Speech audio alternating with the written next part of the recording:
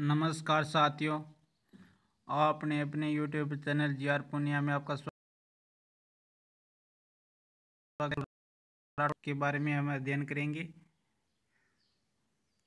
राव सिंह राव सिंह राठौड़ वंश के संस्थापक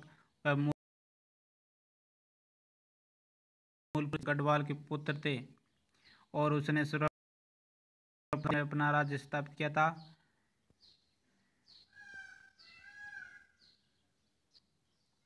राव चूड़ा चूड़ा राठौड़ वंश का प्रताप प्रथम प्रतापी शासक था और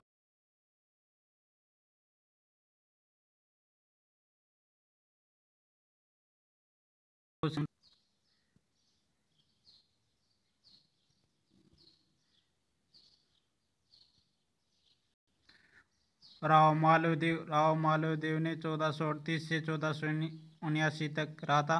और उसने चौदह सौ तिरपन ईस्वी में मंडोर पर अधिकार किया था और चौदह सौ उनसठ ईस्वी में चिड़िया टुकी पहाड़ी पर जोधपुर दुर्ग मेहरानगढ़ का निर्माण कराया था और चौदह सौ उनसठ राव जोधा ने की थी।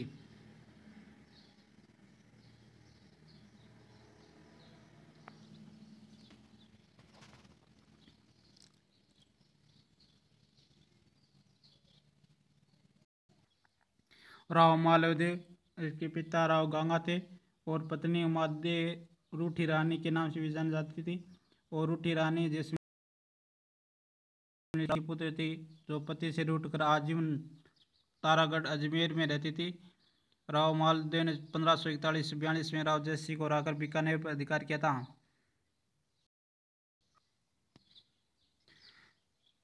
गिरी सुमेल का युद्ध, ये भी एक महत्वपूर्ण है टॉपिक है।